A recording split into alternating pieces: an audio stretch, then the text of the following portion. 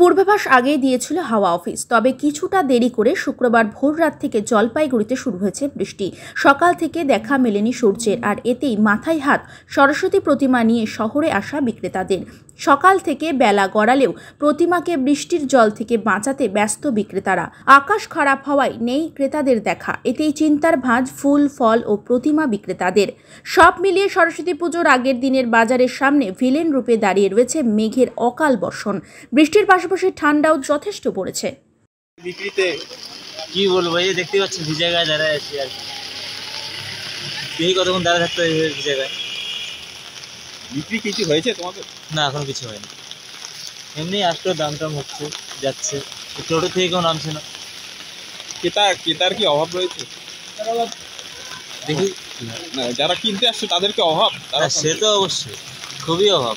এখন যেটা আসছে বাজার করছে চলে যাচ্ছে। বলে বিকালে আসবে। দেখি দুটার মধ্যে তো বৃষ্টি কমার কথা আছে। যদি কমে তাহলে তো খুবই ভালো। না কমলে? যদি না কমে? কমলে তো খুবই ভালো হয়। না কমলে আর কি। সামনের বছর দেখা যাবে কি হয়। খুবই চিন্তায় রয়েছেন? চিন্তা তো স্বাভাবিকটা না। একটা ব্যবসা টাকা দিয়ে কিনে নিয়ে আসা জিনিস।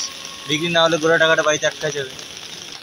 বিক্রির কি অভাব ক্রেতা? হুম সেটা হবে সকাল থেকে দাঁড়িয়ে আছি এখন পর্যন্ত একটা ঠাকুর প্রতিমা বিক্রি হচ্ছে কি মনে করছেন? সারাদিন যদি বৃষ্টি থাকে?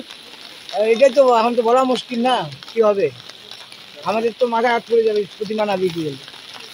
কত টাকা দিয়ে এনেছেন সব মিলে? মানে এখনও বর্তমানে ছয় সাত হাজার টাকার মতন ইনভেস্ট করা আছে।